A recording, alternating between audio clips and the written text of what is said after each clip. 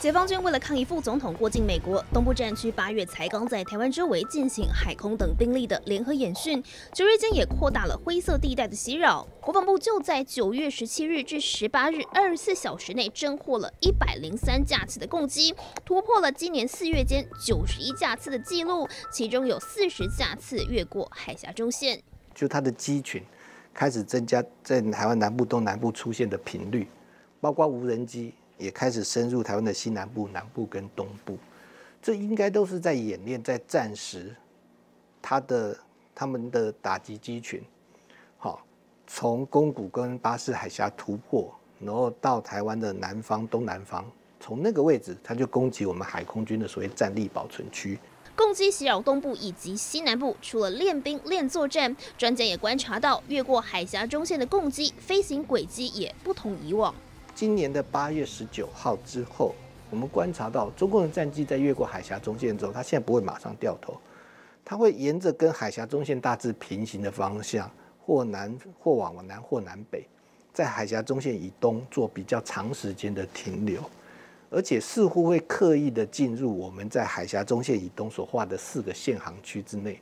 甚至在九月十号之后还出现了它的战斗机在。不同的限航区之间穿梭的这种状况。中共军机注意，你已进入我空域，影响我飞航安全，立即回转脱离。紧紧贴着海峡中线的四个限航区，实质化了海峡中线。专家解释，共机数度进入我国划设的限航区，等同是挑衅我国政府执法地位，是中共在台湾海峡发动的新一波法律战。而国防部在九月时也首度透露，掌握到共军基建以及地面部队在福建大城湾集结演训。国防部长邱国正也不讳言，近期敌情异常。我们最近这敌情哦，真的是蛮异常的。那我们研判初步到九月份，他们是做一个联合军演。部长可能主要是讲的是九月十一号到九月十五号，共军三大舰队有十七艘水面军舰。包括山东号航舰战斗群，在西太平洋突然之间，在大家一看，在突然之间举行了一个以往在这个时间点九月份没有实施过的这种大型的对抗演习，甚至于在大城湾的部分，他可能有注意到一些状况的变化。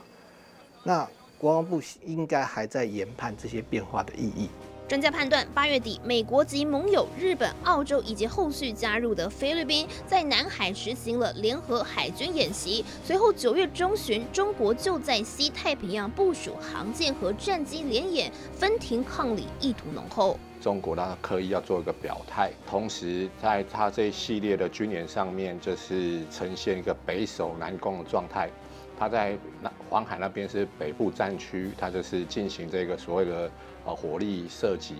那在东部战区跟南部战区，就是出动这个军机跟军舰进行演训。学者苏子云认为，九月以来共军的演训，就军事威胁而言相对有限，但在政治上敌对与恫吓的意义则较为凸显。而除了剑指美方及其盟友在西太平洋大秀肌肉，共军在大城湾进行跨战区操演，也格外引发注目。大城湾就是我们以前常常讲的这个东山岛。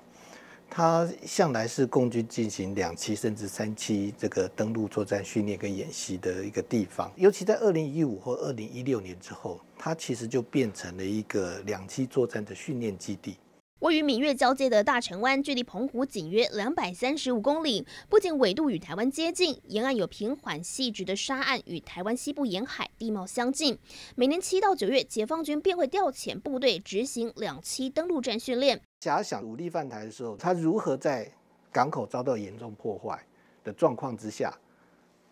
透过工程的方式，然后达到行政下线的目的？他等于是弄个人工港。他等于是事先准备好各种的船舶、各种的机具，然后临时可以组成一个人工港，让这个部队呢可以做这个快速的行政下线，而不用再像以往一样必须要去用抢滩的方式。而今年不同往年，演训的规模则是更为扩张。这一次很可能就是提升到旅级哦。那在我们当面东部战区，就是号称攻台的这个。哦，就是主力部队是七三集团军，七三集团军里面就是十八旅跟这个九十一旅，号称是两栖合成啊部队，也就是它虽然是陆军，可是它可以进行啊就是登陆作战，哦，所以可能是呃它这个规模也比较大一点。那加上多兵种结合这个陆航部队，就是它的直升机部队，还有远火部队，所以他来说呃可能的敌情异常。不过，即使共军演训规模扩大，专家研判目前仍然没有大规模集结犯台的迹象。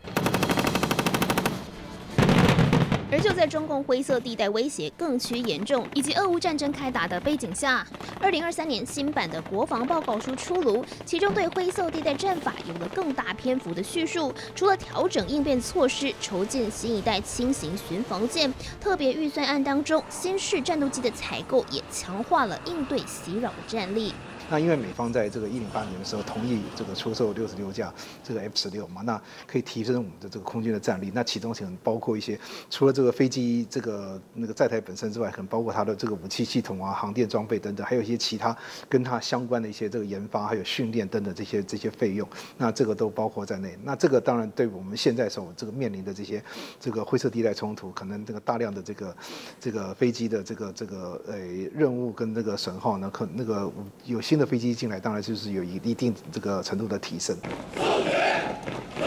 而且，因为我国防卫作战构想，除了与一百一十年度相近的防卫固守重层贺组，国军还增加了所谓的远距制敌纵深防卫。那纵深防御呢，可能就是比较像我们这个过去讲的滨海决胜、滩岸歼敌。但是它这个纵深防御的部分呢，它把它分成三段，那感觉就是把这个就是有一个呃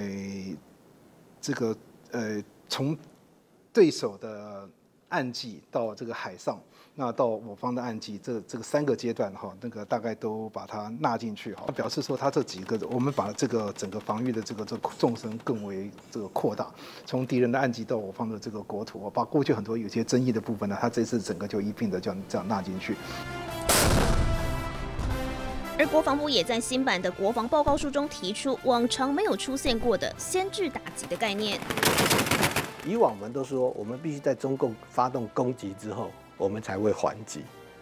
可是现在国防部不但强调先制打击，而且还说那个状况是当中共出现非常可能犯台增后的时候，感觉上中共先动手，我们再还击，这个条件好像被模糊化。随着中共军事威胁加剧，此次的国防报告书不仅有了更积极的防卫构想，也增加了结合盟友的区域联防机制。台制前舰海空号也将在二零二五年完成整备服役，成为未来拒止敌军航舰的一大利器，为应对一海之隔的威胁做最充足的准备。